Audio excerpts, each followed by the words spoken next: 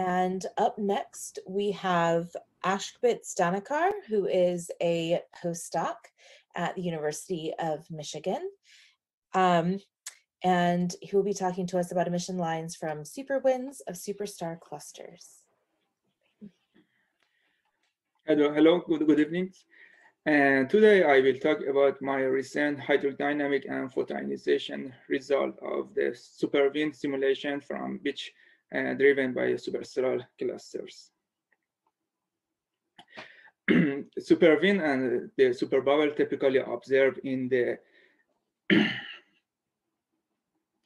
in the starbursting galaxies um, and uh, this uh, superwind uh, is driven by thermal and radiation feedbacks uh, from OB association and the uh, supernova explosions in uh, some of the super winds, uh, some of the, the subversing galaxy, we see the suppression of the super winds and also strongly radiative uh, coolings, which uh, cannot be explained clearly. And in this uh, work, I did the hydrodynamic simulations of uh, super wind and super bubbles. These hydrodynamic simulations is based on the Adiabatics uh, analytical solutions by Chevalier and Clegg, which developed in 1985.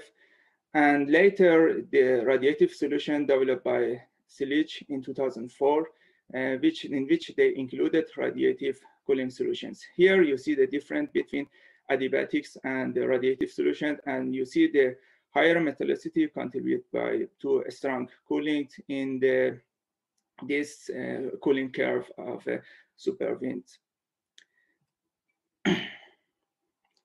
And here is the typical uh, profile, density profile, and temperature profile of superwind and superbubble. And here you, we have a bubble, which is uh, produced by its temperature of 10 million kelvins. And here we have a shells. And here is the result of the hydrodynamic simulations. In the low velocity, you see the separation of superwind and the catastrophic coolings. And, but in high velocity, you see the formation of the temperature bubbles. And I did a parametric investigation. I, did, I ran a series of grades uh, for different mass loss rate and different uh, ambient density and metallicity and velocity. And uh, in this example, which I show here, we see the catastrophic cooling happens in the high metallicity and low velocities. And CC is catastrophic cooling, CB catastrophic cooling with bubble, and ABAC is adiabatic solutions. And I did a photoionization uh, with cloudies. And here you see the optical solutions, and we see they are overlapped with region, which observe as a, starburst regions. And also uh, extract UV emission lines, which you see here. And you see how UV emission line change by metallicity, ambient density, change of ambient uh, density, and change in velocities.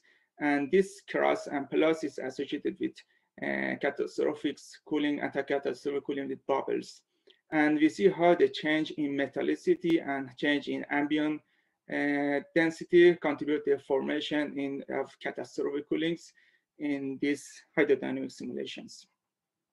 Also, there is other line. Also, we I extract this for radiated bounded model and also extracted for partially density bounded model, and you see the change variation in UV emission lines um, by difference metallicity and ambient densities. And the other thing is important is uh, oxygen six, and because in one observation they observe uh, oxygen six in starburst regions, in nearby starburst regions, and uh, here you see uh, with how the change of metallicity contribute to formation of uh, catastrophic coolings. And you see a diversion from typical pattern uh, because of catastrophic cooling, because of uh, the strong radial cooling, this they, this uh, model which have catastrophic cooling, they don't follow the typical patterns. and this is a summary of my talk. I talk about how uh, we did hydrodynamic simulation, which is a, analytically solved by Chevalier Clegg. Also, radiate, we include radiative cooling, which analytic solution developed by Silich in 2004. And we did parametric investigations of the catastrophic coolings by changing metallicity, mass loss rate, and wind velocity. And we see in higher metallicity and low velocity, uh, we have uh, the formation of strong radiative coolings. And uh, I produced by using Cloudy model, I produced the BPT diagram and UV diagnostic diagram in order to help to diagnostic which region we have uh, catastrophic coolings. Thank you. If you have any question, I can answer. All right, thanks for that. Let's see if there's any questions on the chat. Um, okay, so I have a question. We have plenty of time. So um, I'm, of course, superstar clusters is not my area of research. So I'm, I'm wondering um, how much optical data does there exist that these kind of models can be applied to? Is it really common to have all of these different lines for different superstar clusters? Yeah, here you see there this optical data is from this four paper.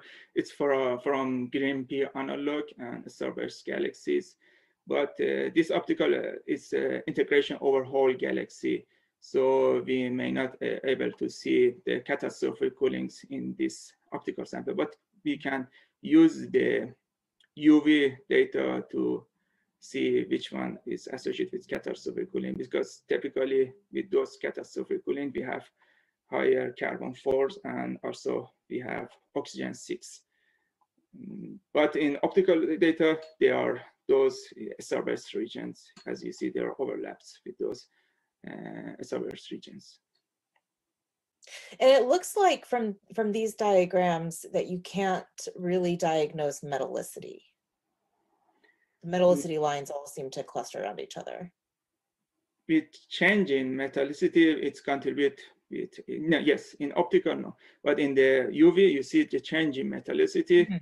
uh, contributes to, to higher cooling. So, or oxygen three reduced, oxygen three over helium two, you reduce by increasing the metallicity because increasing metallicity contribute to uh, cooling effects. But in optical, yes, uh, optical is a bit difficult. But in UV, yes, you see, we see the how the change in metallicity reduce oxygen three. Right. Um, and so what are your, so with this, uh, this um, model and these diagnostic diagrams, like what are your next steps in this project? The next step is uh, we here you see we have cross and plus, which is associated with, that superwinds because of surrounding catastrophic coolings. Uh, here I show. Yeah, here you see the separation of this bubble. This bubble temperature bubble is not forming. And the next is we should uh, find a way to see how we can use these diagnostic diagrams uh, to identify this uh, formation of uh, suppressed wind or catastrophic coolings as you see here, is in this region is not catastrophic, but when there is catastrophic cooling, there is a reduction in carbon 4, and so it's shifted to left. Also, similarly for this metallicity shifted to left because of uh, externally, radiative coolings. It's mm -hmm. reduced oxygen oxygen 4. No, it reduces carbon 4. All right. Well, that was really interesting. Thank you so much. Thank you. Um, okay, so our next